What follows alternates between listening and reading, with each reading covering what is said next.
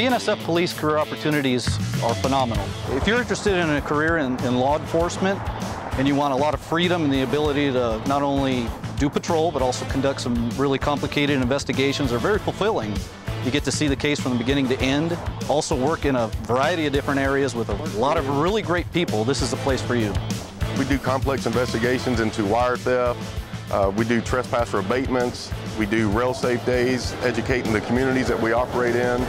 Myself, I'm a canine handler. I'm also a firearms and defensive tactics instructor. Uh, there's a lot of opportunities for the BNSF Special Agent. As the law enforcement division of the Resource Protection Team, BNSF Railroad Police are provided police authority from state and local governments and are authorized interstate authority by the federal government. The jurisdiction is wide, covering BNSF's network of 32,500 route miles and touches hundreds of local and state districts along the way. Although the BNSF police use cutting edge technology and training today, railroad policing is nearly as old as the railroad itself. Railroads began to spread across America in the 1840s. By 1850, there were more than 9,000 miles of track and commission east of the Mississippi. The discovery of gold in the West spurred on more construction, and within a decade, the railroad had tripled in size to 30,000 miles. Inevitably, westward expansion of the nation and its railroads attracted organized crime and other criminals who conducted armed robbery of passenger trains. The U.S. Army responded but was spread thin between protecting railroads, establishing outposts, and providing security for settlers. While train robberies grabbed headlines, widespread looting and theft also occurred in rail yards.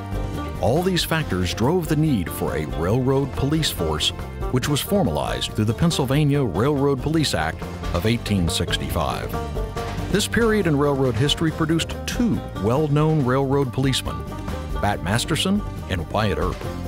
There is a strong history with BNSF police. We date back to the Bat Masterson days. It's a proud history. You know, we've had railroad officers for hundreds of years and we'll have them hundreds of years from now.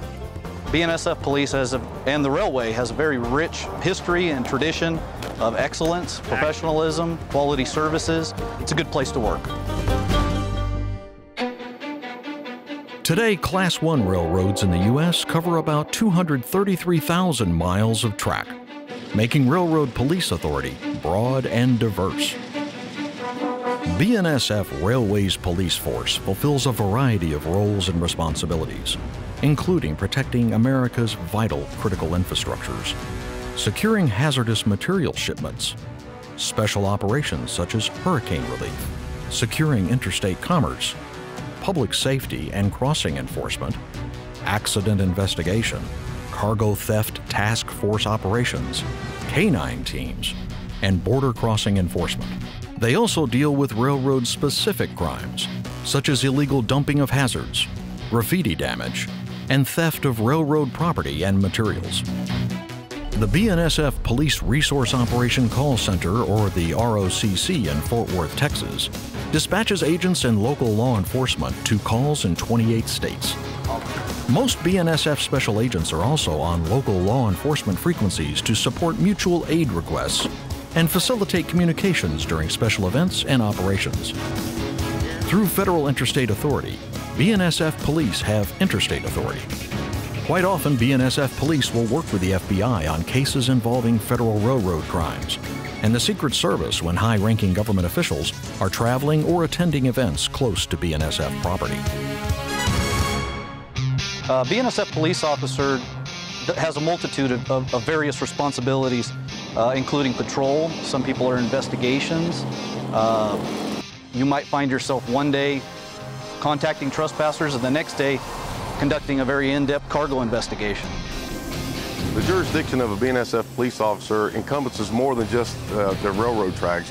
It never gets old. You know, you could be a, a regular municipality police officer and cover a zone of maybe a, a square mile.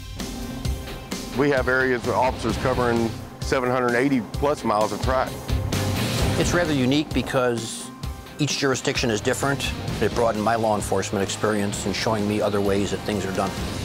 Quite frequently we interact with local law enforcement agencies, be it the state police, the Chicago police, or any one of the numerous suburbs that we operate through. Uh, we rely on them for assistance in, in crimes that occur in their jurisdiction, also for help in investigations. The opportunities within BNSF Police are wide ranging. The K9 teams are recognized as top of the industry in railroad policing. These teams focus on explosives detection and patrol work. And along the Texas border, narcotics K9s are deployed to inspect rail cars with merchandise moving in and out of the country.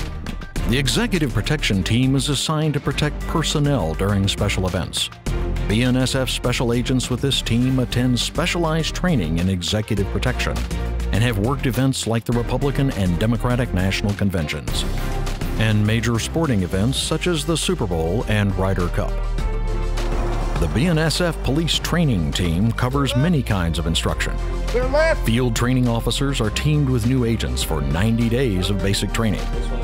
Other training opportunities include firearms and defensive tactics instructors and Operation Lifesavers Grade Crossing Collision Investigation Team. Special agents may also be assigned outside their normal territories to burglary response details in areas where the need arises, such as California and Arizona, as well as the Chicago area. The Special Investigations Unit is another option. These teams handle high profile criminal prosecutions, cost control investigations, and fraud investigations, both internal and external.